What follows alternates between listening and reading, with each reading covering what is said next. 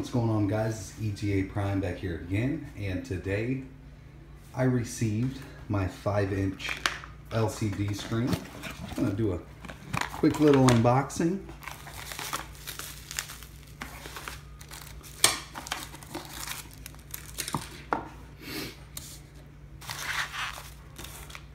Comes with this thing. I think it's called the DVD I don't know because I've never used them. Um, mounting hardware and the HDMI little coupler, which is really cool. You see it's got two HDMI ports there. Pin, not gonna need that. I'm not worried about the touch.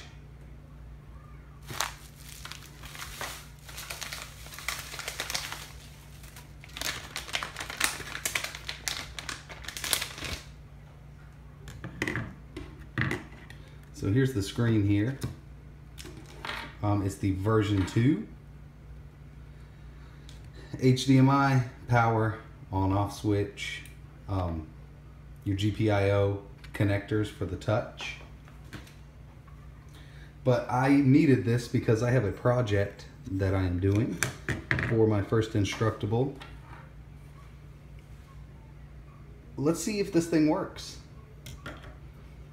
Now I've already set up the SD card with um, RetroPie and I have configured it to a 800 by 600 resolution, whatever this thing is. I think it's 800 by 600. Either way, I'm just gonna pop it on here.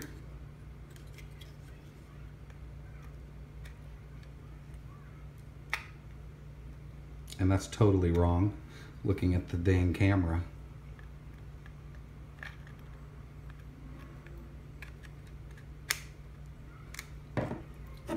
Now we just take this little guy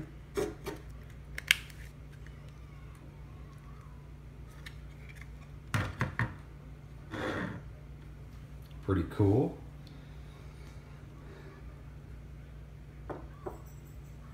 Right here I have a 5200 milliamp hour. This is a two cell 18650 um, Samsung batteries. This little guy right here is a charger slash USB power output. So what this does is it takes the 3.7 volts and turns it into 5 volts. Now this unit that I have here is only 1 amp. I have several more coming that are supposed to be rated at 3 amps. So hopefully we'll be able to get a good power supply from the battery system the charger slash um, up converter to the Raspberry Pi because what I want to do is create a handheld RetroPie system. I know everybody's done, there's thousands of them really. I know a lot of people have done the Game Boy setups, but I want a bigger screen.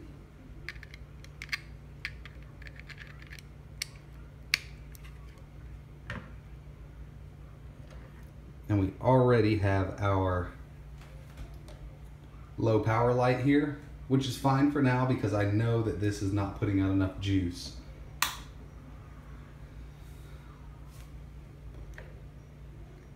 I guarantee it would power the Raspberry Pi 1 I have, but this is a Raspberry Pi 3 and it's actually still overclocked.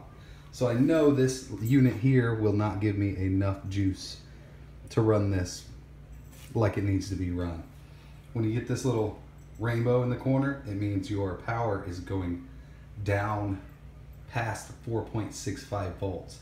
This thing needs 5 volts. So the new up converter, DC to DC up converter, or they call it a buckboard, that I'm getting is adjustable and it is supposed to put out up to 3 amps.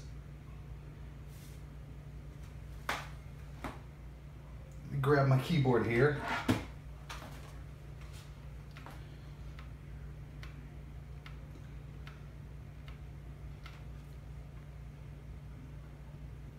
I'm trying to get this um, to look decent on this screen here, this camera, it's going to be kind of hard.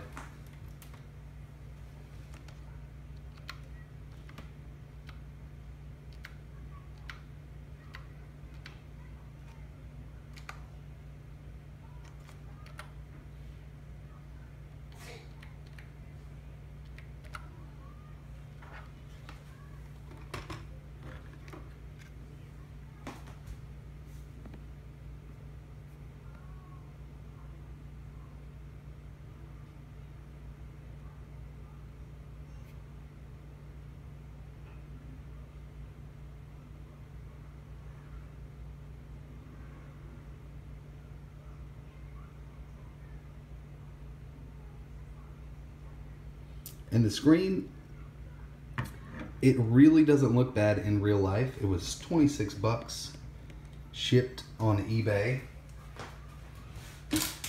I will be, the only reason I got this screen was because it's super cheap, 26 bucks to do an experiment with.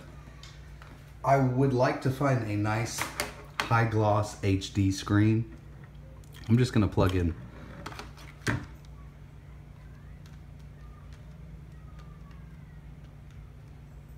and this isn't going to work until I start the game with it. Let me get a little closer to the screen here with my uh, camera set up.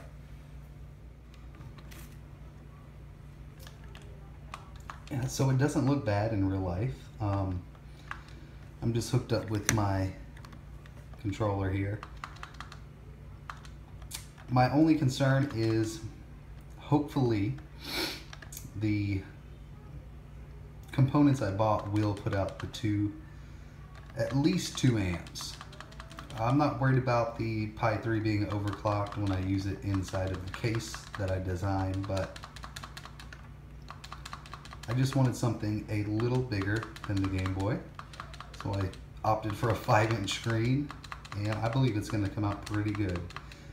If I cannot get enough power to the Raspberry Pi 3, I will just opt to use a Raspberry Pi 1, possibly the 2.